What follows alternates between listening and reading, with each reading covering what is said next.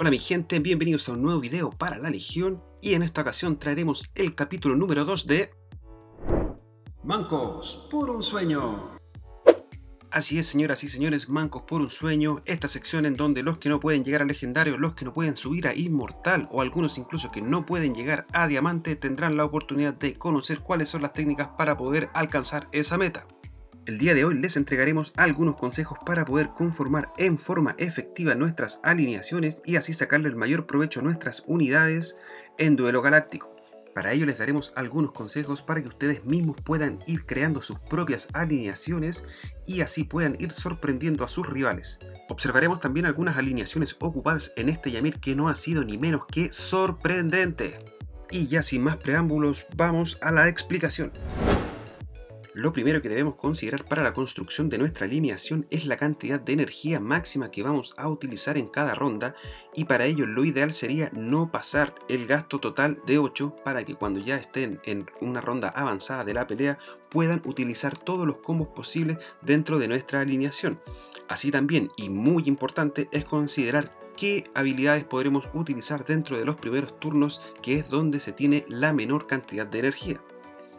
Si vemos por ejemplo en esta alineación, podemos entender que Canon al generar su propia energía en el primer turno sería un gasto de 0, lo que nos dejaría, utilizando el Cosmos Hada del Pantano, 3 de energía disponible, de las cuales 2 vamos a utilizar en el primer turno con Hipnos, dejándonos un resto de una energía. Sin embargo, como Atena puede generar energía con su habilidad, nos va a dejar la energía suficiente para poder, luego de utilizar un ataque básico de Thanatos, hacer la protección, hacer la habilidad de dragón, dejándonos 0 de energía, pero con el combo fundamental de esta alineación activado.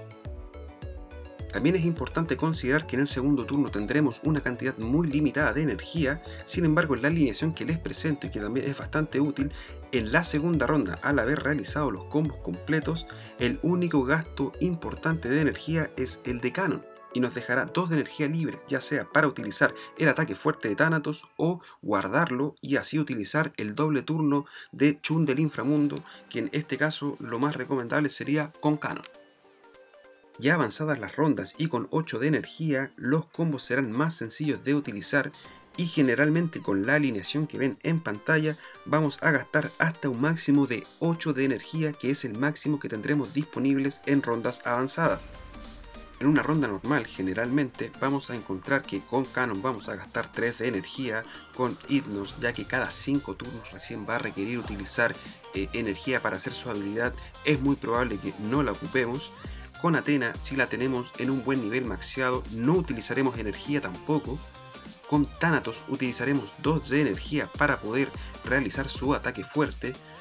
Con Chiryu Divino utilizaremos 2 de energía ya sea para atacar o ya sea para poder recuperar nuestra vida, lo que no siempre se va a utilizar.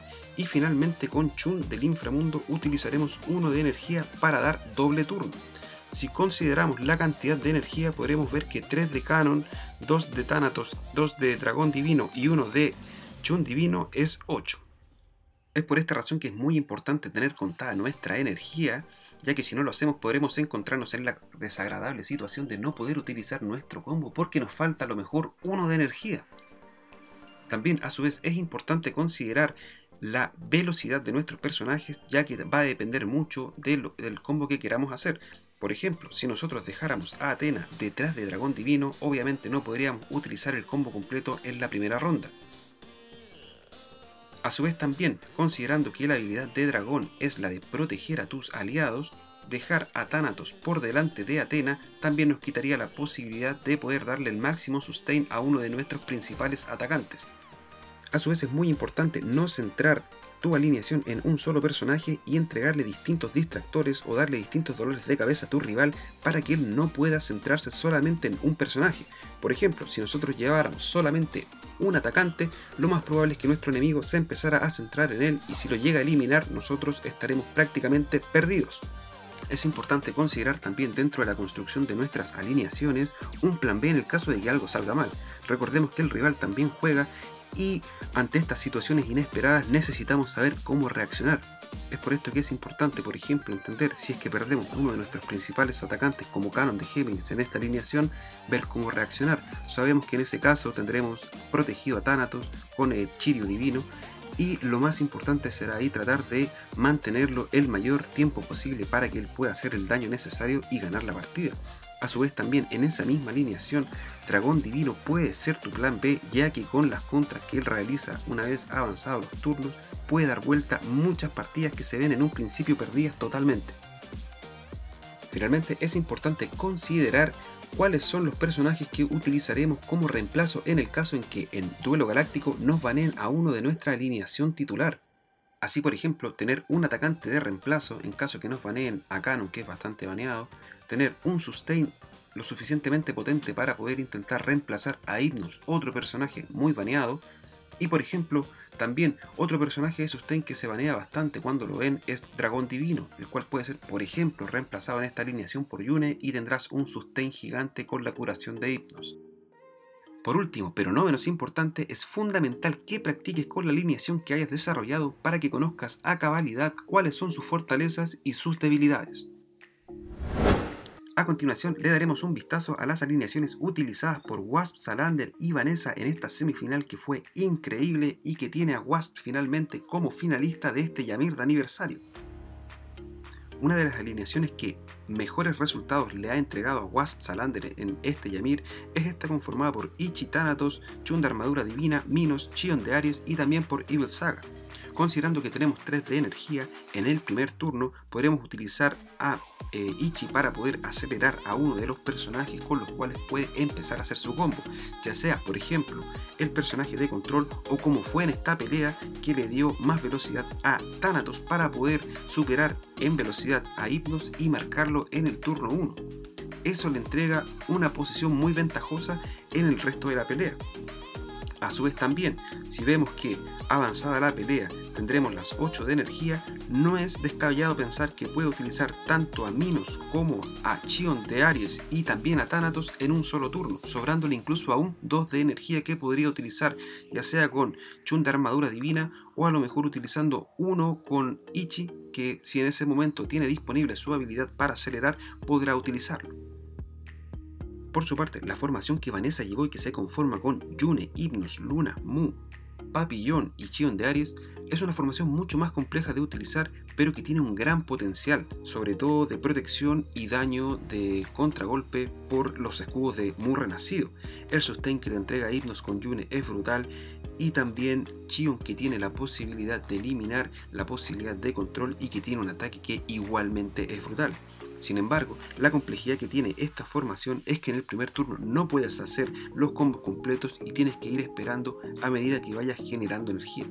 Lo recomendable en esta formación es partir usando Yune Hypnos para poder tener el sustain necesario y a contar de la ronda 2 empezar con los escudos de Mu a la espera de contragolpear con el máximo ataque posible.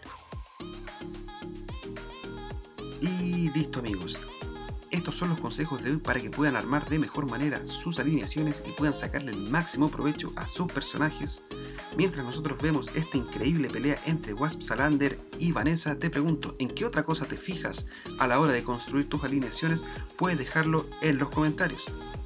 Por mi parte me despido, te dejo esta pelea completa para que la disfrutes y recuerda si te ha gustado este video, compartir, darle like, suscribirse, activar la campanita para recibir las notificaciones de nuevo contenido. Nos estamos viendo, un abrazo gigante, bye.